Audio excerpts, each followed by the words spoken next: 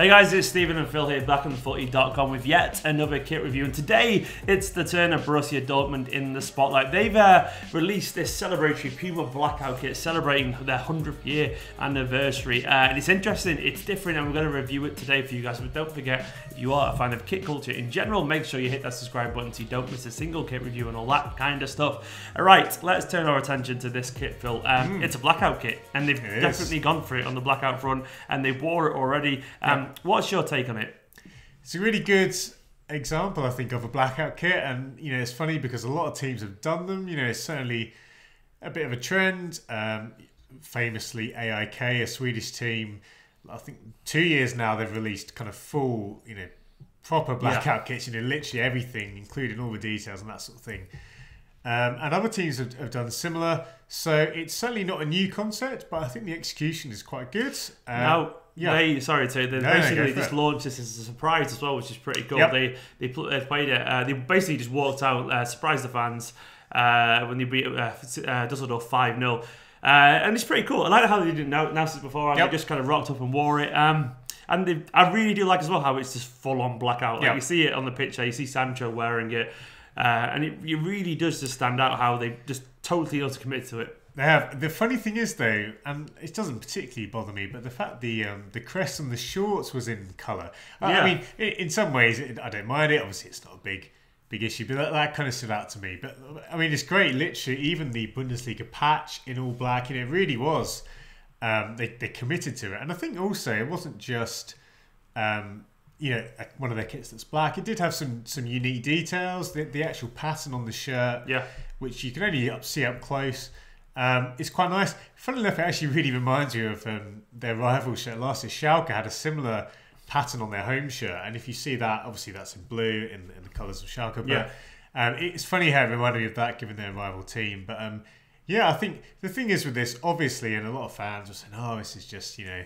a kind of cynical cash grab. At the end of the day, most most shirts are we're in we're in that territory now. This is effectively you know like a special yeah. fourth kit, and we've reviewed quite a few of these already this year. So I think for that it, it does it well. There is a reason for it being in black. Uh, it does apparently it marks the one year from the end of the coal industry in the Ruhr area, which is where Dortmund are from, uh, and uh, Dortmund is a city in general uh, that was born out of coal and steel. So it makes sense. There are some kind yep. of touches that I mean, it, it kind of makes sense. At least it is yep. tenuous, you know. Yeah, that's, that's history of that. Yep.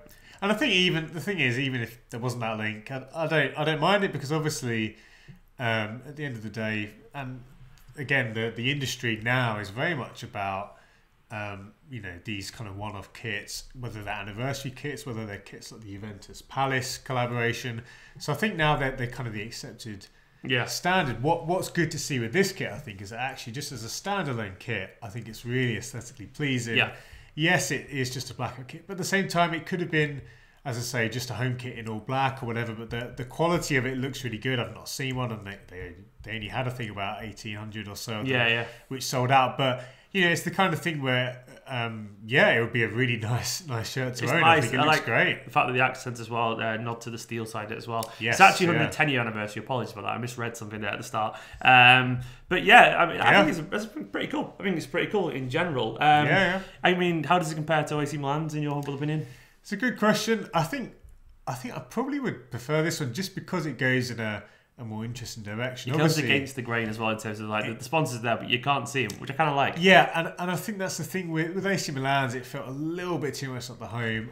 Obviously, this isn't particularly traditional, um, but I feel like with Dortmund, obviously, um, you know, they've, they've obviously yeah. had a lot of black kits in the past, so it doesn't it doesn't feel too strange. I think I think it's a really really nice shirt. Let's give it a score then. Hmm. Hard to score this one because obviously it is a one-off kit, and you know it's it's sort of in a, its own category as fourth kits. Yeah. Oh, if we can call it fourth. But kit. if it was an away shirt, then you put it that way? well, that's a good shirt, question. Yeah, and to be honest, I would really rate this. I, I think, think, you would like it a lot. Yeah. Like, oh, it's different, and it's.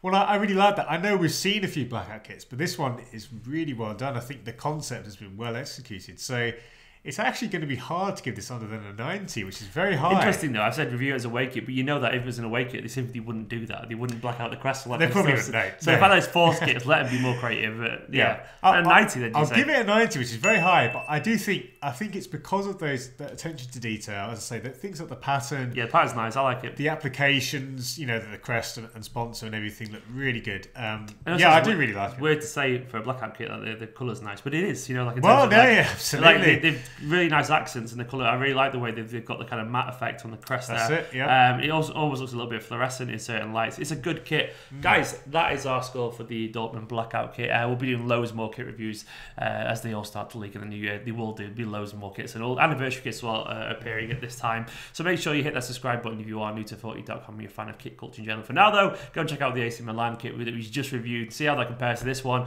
Like, comment, subscribe, and we'll see you very soon.